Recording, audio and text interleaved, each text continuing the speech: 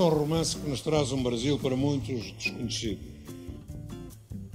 Um Brasil rural, onde persistem formas ainda não institucionais. A escravatura foi abolida, mas há muitas sequelas e muitas formas de servidão. Tortarado, a literatura cumpriu a sua função.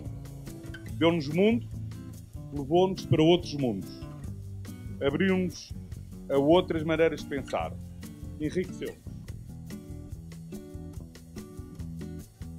Eu caminhava para o hospital onde meu pai estava internado e nesse caminho, absolutamente sozinho, recebi surpreso e emocionado a notícia de que Torto Arado era o romance vencedor.